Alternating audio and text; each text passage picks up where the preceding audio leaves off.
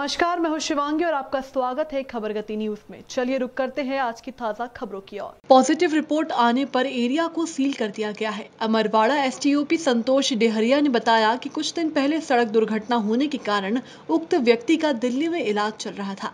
सिंगोड़ी आने पर जिनका सैंपल जाँच हेतु भेजा गया था।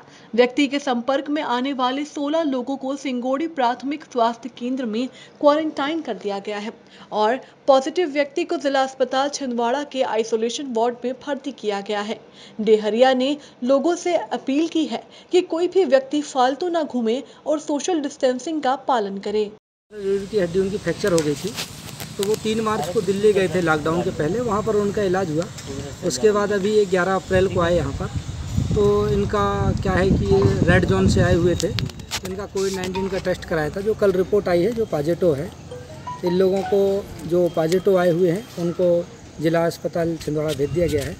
इनके परिवार के अन्य पत्नी सहित ग्यारह सदस्य थे जिनको सिंगौड़ी कोविड नाइन्टीन सेंटर में भर्ती किया गया है। इसके साथ ही इनके जो चालक था जिस ड्राइवर ने नागपुर से इनको लेके आया था वो और उसके परिवार के अन्य चार सदस्य ऐसे पाँच लोग टोटल सोलह लोगों को सिंगौड़ी कोविड नाइन्टीन सेंटर में भर्ती किया गया है। सर कितने क्षेत्र को प्रतिबंधित किया गया है?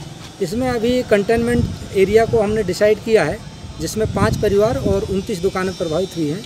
इन उनतीस दुकानों और पाँच परिवार को जो है प्रतिबंधित किया गया है साथ ही बैरिगेटिंग करके प्रतिबंधित क्षेत्र में किसी भी व्यक्ति के या उनको बाहर आने जाने की कोई परमिशन नहीं है।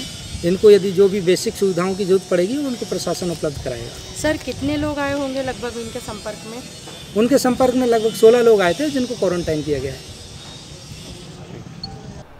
आज की ताज़ा खबरों में सिर्फ़ इतना ही। ताज़ा तरीन खबरों के लिए बने रहिए खबरगति न्यूज़ के साथ। नमस्कार।